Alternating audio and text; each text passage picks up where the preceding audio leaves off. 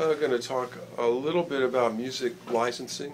Not that I really know much, but uh, uh, I've been involved in in some of these things. You know, with the uh, uh like you play a nightclub and um, the background music uh, that they play, um, they're limited in what uh, they can play legally.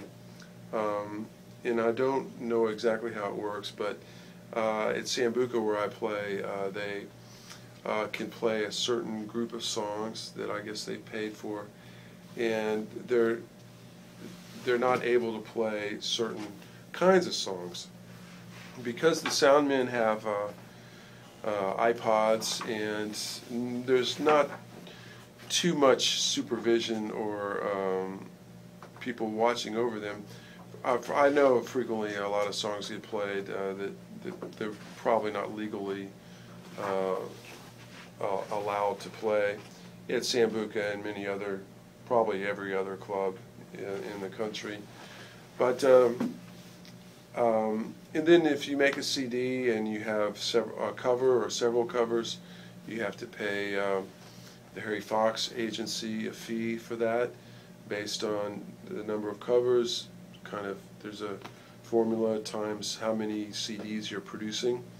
You have to pay for the number of CDs you produce, not the ones you sell, but the produce. So um, uh, on my own CD one time, um, I, uh, with Stratus, it's called um, Live at the Ale House. Uh, I had written all the songs except uh, one, a song called um, uh, Wabash by John Scofield.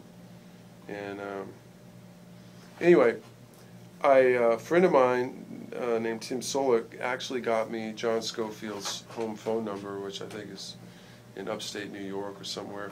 So I called, and his wife, see his wife Susan, is his manager, and she answered the phone and I could hear little kids. I guess they have a, you know, had a growing family at the time. It's probably been 15 years ago.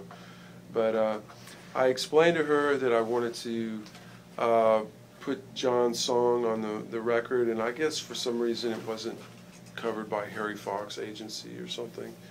And um, she uh, listened, and uh, she seemed kind of busy, but she listened and said that John was on tour at the moment with um, uh, Eddie Harris in Europe, and he'd be back in a, I don't know a week or two, and she'd ask him about if he'd give me permission and you know how much it would you know cost me and everything. Well, um, a couple of weeks went by, a couple of months went by.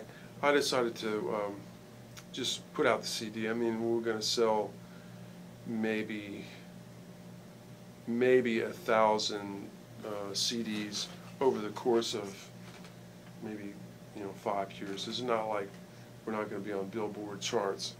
So I went and put out the CD, and guess what? I never went to the, the, the penitentiary. I never got a letter. I never nothing. You know, I mean, we're just not generating any money, so it's it's no big deal. Um, I guess that's that's my uh, story. I'm sticking to it.